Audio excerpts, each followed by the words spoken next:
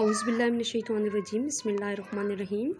Students, a very good morning to all of you. Hope so you are uh, very fine and enjoying your vacations. Welcome to the online classes, the Line School. Students, uh, this lecture is for the senior section. Means this is lecture will be concerned with the six class seventh class and eighth class और fifth class के students भी इस lecture को सुन सकते हैं क्योंकि ये uh, एक कॉमन टॉपिक है टेंसेस के बारे में। आज हम आपको टेंसेस के बारे में बताएँगे कि टेंसेस क्या होते हैं। एक बात याद रखिएगा स्टूडेंट टेंसेस बता बजाते खुद is a sea of knowledge ये एक समंदर है जिसको आप जितनी दफ़ा पढ़ेंगे आप उतनी दफ़ा आपको एक नई चीज़ एक नई बात उसमें पता चलेगी और एक नए तरीके से आप पे वो बात वाजे होगी। तो इसलिए आप ये समझ लें कि एक लेक्चर में या एक वीडियो में आप इस टेंस को समझ लेंगे या एक दफ़ा पढ़ने से या एक दफ़ा उस एक्सरसाइज को सॉल्व करने से आपको ये टेंस पे आप कंप्लीट कम्प्लीटली होल्ड हासिल कर लेंगे तो ये आपके लिए बहुत मुश्किल होगा। आप तब तक कम्प्लीटली होल्ड नहीं हासिल हासिल कर सकते जब तक आपको टेंस से रिलेटेड जितनी भी चीज़ें हैं उनके ऊपर होल्ड नहीं होगा। आ, मैं अभी जूँ जो ही मैं अपना लेक्चर स्टार्ट करूँगी तो मैं आपको साथ साथ बताऊँगी कि आपको क्या क्या चीज़ें आनी चाहिए। ठीक है? ये आपका इसी तरीके से आपका लेक्चर स्टार्ट होगा और इसी तरीके से हम एक लेक्चर में हम इंट्रोडक्शन करवाएँगे देन उसके बाद वन बाय वन एक एक चीज़ को हम खोल के एक्सप्लेन करेंगे। आपके लिए और यूँ समझ लें, मैं इनको अगर इसको एक शॉर्ट वर्ड में आपको समझाने की गर्ज से कहूँ कि मैं एक देसी तरीके से आपको समझाऊँगी ताकि आपके लिए प्रेजेंट टेंस बिल्कुल या जितने भी टेंसेज हैं, वो आपके लिए बहुत आसान हो जाएँ और आपकी ये मेट्रिक की तैयारी के लिए एक दफ़ा जब आपके जहन में ये चीज़ें ओपन होगी, आपका कॉन्सेप्ट क्लियर हो गया तो आपके लिए बाकी चीज़ें समझना मुश्किल नहीं है। इसमें मैं ज़्यादातर, चूँकि ये इंग्लिश का वर्ड है तो मैं वैकेबलरी वर्ड इंग्लिश के यूज़ करूँगी ताकि आपकी अंडरस्टैंडिंग पावर ऑफ़ इंग्लिश भी इंक्रीज़ हो। So we will start from the tenses और we will discuss all the things related to the tenses in the lecture I am going to start that. First of all, you must know that what is the tense. That what is a tense basically tense tenses जो हैं वो time को show करते हैं time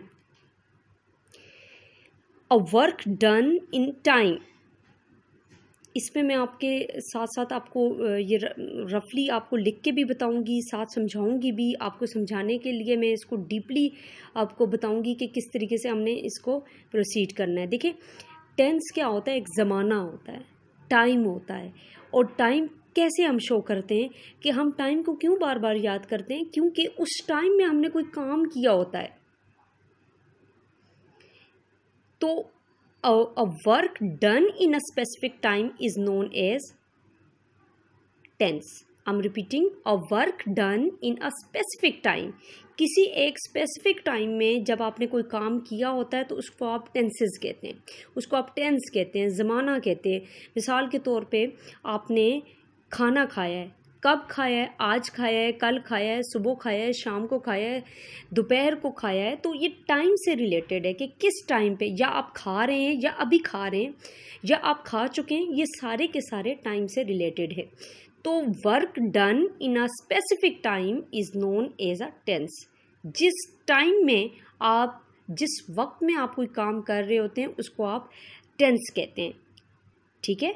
And what is word use for the work done और जो आप work done काम कर रहे होते हैं, उसको आप कहते हैं, उसको आप कहते हैं verb verb now what is the verb verb is the ability to do work ability to do work तो यहाँ पे मैं इसको सिर्फ़ शॉर्ट टर्म्स में लिखूँगी। मैं इसको वर्क के उसमें लिख लेती हूँ वर्क इसमें टेंस में दो चीज़ें इंपॉर्टेंट हैं। एक वर्क यानी जिसको आप वर्क डन यानी जिसको आप इस सारे को आप वर्ब भी कहते हैं। दिस इज़ वर्ब अच्छा और दूसरी चीज़ इंपॉर्टेंट है टाइम अब वर्ब क्या है? Verb is the part of speech verb is the part of speech verb क्या है? वो स्पीच का पार्ट है। वो मैं आपको डिटेल में बताऊँगी कि there are eight part of speech वो हम डिटेल में हम डिस्कस करेंगे। बट इस वक्त मैं आपको टेंसेस से स्टार्ट करवा रही हूँ तो टेंसेस पे ही हम फोकस करेंगे। वरना अगर मैं आपको पार्ट ऑफ़ स्पीच बताना शुरू होगी तो वो आपके लिए एक बहुत लेंथी लेक्चर हो जाएगा और फिर हम उसको हम अपने लेक्चर से हट जाएँगे। सो so, आज मैंने आपको बताया टेंस क्या होता है।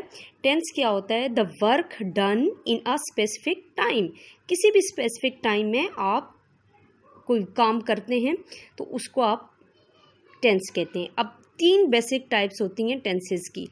प्रेजेंट यानी हाल पास्ट माजी फ्यूचर मुस्तकबिल। यानी आपने इन्हीं तीन टाइम में कोई ना कोई काम किया होगा। इसके अलावा आपकी वर्ल्ड में कोई थर्ड या फोर्थ टाइम नहीं है। ये तीन ही टाइम होते हैं।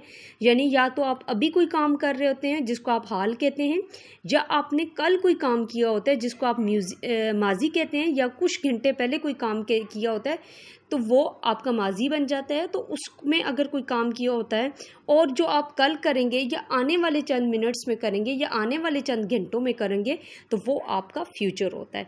तीन तरह के आपके पास टाइम होते हैं present past future there are three types of the times in your life one is present past and future इसके अलावा हम हर एक को डिटेल में डिस्कस करेंगे।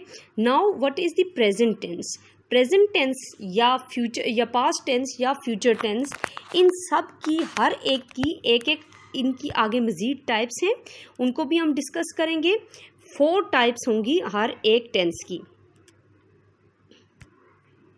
हर टेंस की फोर टाइप्स होती हैं। मिसाल के तौर पे यहाँ मैंने प्रेजेंट टेंस लिख लिया है तो इसकी भी फोर टाइप्स होंगी। प्रेजेंट इंडेफिनेट यानी simple tense continuous tense present perfect tense और present perfect continuous tense repeat करें मेरे साथ। सिंपल प्रेजेंट टेंस कंटिन्यूस यानी प्रेजेंट कंटिन्यूस टेंस, और प्रेजेंट परफेक्ट टेंस, और प्रेजेंट परफेक्ट कंटिन्यूस टेंस। ये फोर टाइप्स हैं। हर एक टाइप को हम फर्दर इसको डिस्कस करेंगे डिटेल में। लेकिन सबसे पहले आपके लिए फिर रिपीट कर रही हूँ कि टेंसेस क्या होते हैं, ये आपको पता होना चाहिए। टेंस क्या होता है? Tense is the ability of work to be done in a specific time ये रिप्रेजेंट करता है टाइम को कि आपने किस टाइम में कौन सा काम किया है उसको आप टेंस कहते हैं।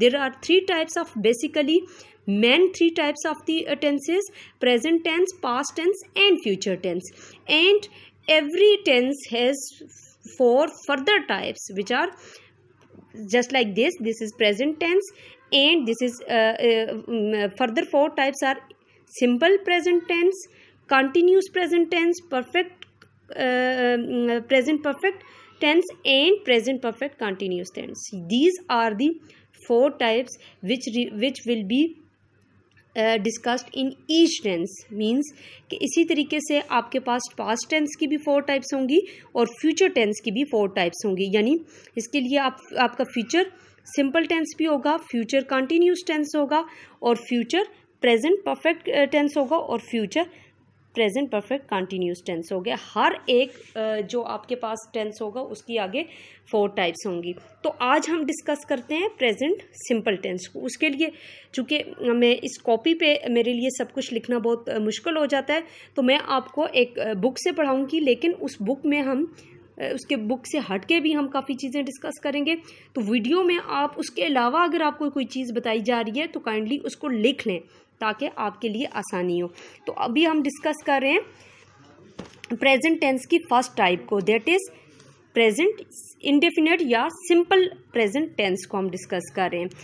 So am using this book the present simple tense the present simple tense ये प्रेजेंट टेंस है, इसकी पहली टाइप है सिंपल टेंस द वर्ड इसमें हम लिख लेते हैं verbs written in present tense tells us what is happening now in simple tense we express routine work ऐसा फेल ऐसा काम, जिसमें किसी काम का करना, होना मौजूदा ज़माना में पाया जाए, उसको फेल हाल मुतलक या सिंपल प्रेजेंट टेंस कहते हैं।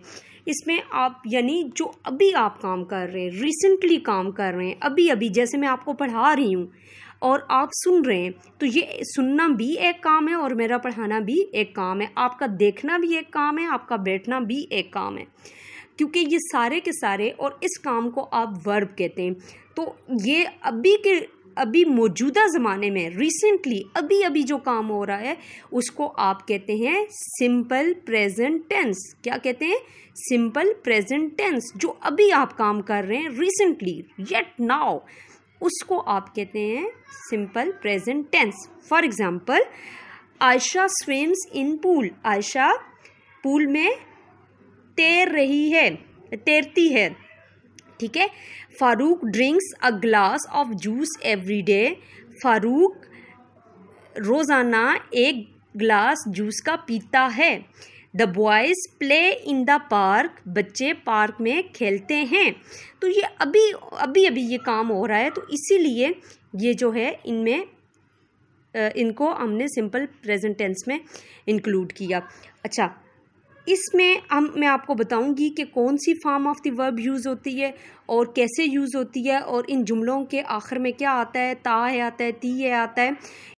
आपको डिटेल में बताऊँगी, लेकिन उसके लिए आपको मेरी अगली वीडियो देखनी पड़ेगी, क्योंकि हम रूटीन में हम रोज़ाना आपको टेन टू ट्वेल्व मिनट्स का लेक्चर देते हैं और वही वीडियो आपकी अपलोड हो जाती है।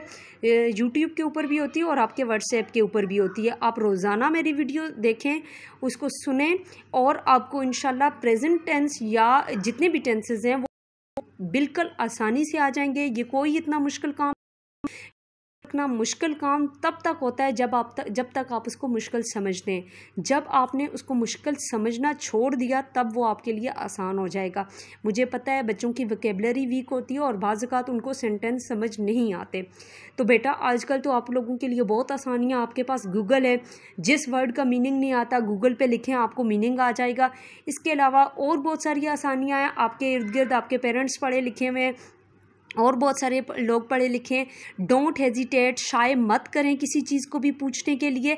आप मुझसे डायरेक्टली पूछ सकते हैं व्हाट्सएप ग्रुप के ऊपर के फ़लाँ मतलब जो आपने वर्ड बोला था, उसका क्या मतलब है? ऑल दो मुझे ये सारे का सारा लेक्चर इंग्लिश में देना चाहिए था, लेकिन for your convenience I am translating this lecture into Urdu में। इसको उर्दू में दे रही हूँ ताकि आपके कॉन्सेप्ट बेसिक कॉन्सेप्ट क्लियर हों।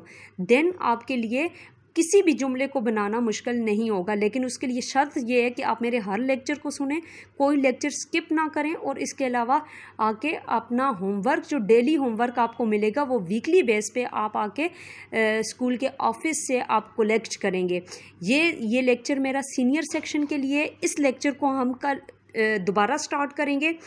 ये आगे प्रेजेंट टेंस के कि उर्दू में इसकी किस तरह से पहचान होती है और इंग्लिश में इसकी क्या पहचान होती है, ये हम आपको नेक्स्ट लेक्चर में बताएँगे।